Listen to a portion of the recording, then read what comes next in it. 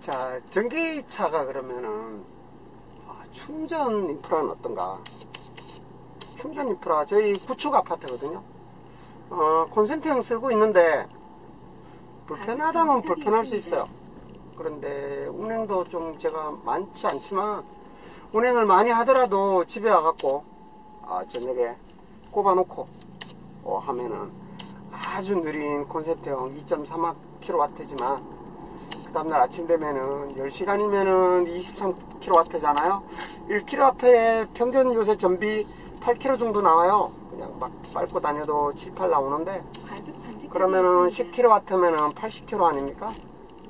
어, 20kW면은 160kg? 그냥 뭐 평상시 주행에 어디 장거리만 안 가면 아무 상관없고요.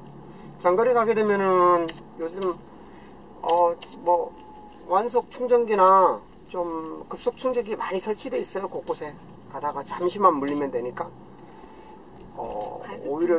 주유소 가갖고 5분 주유소를 일부러 찾는 거나 그냥 집에서 집밥만 가능하다면은 전기차도 괜찮다고 봅니다. 아, 그리고 전기차 마냥, 만의 이 조용함, 그리고 이 출력 같은 과속 거, 방지턱이 이 있습니다. 힘, 어, 어, 보시죠.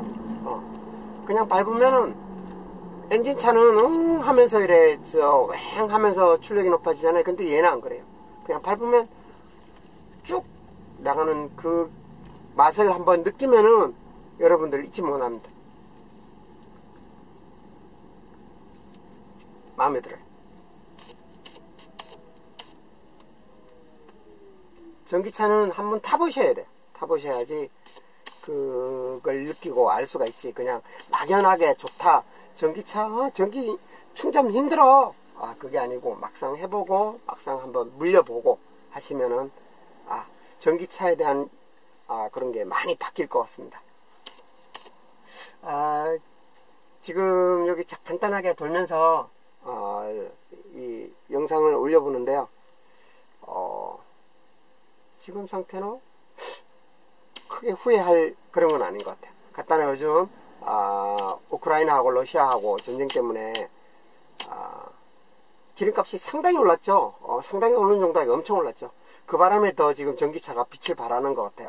근데 전기차 상당히 비쌉니다. 일반 내연차보다가 한참 비싸니까 그 점은 또 감안하셔야 돼요.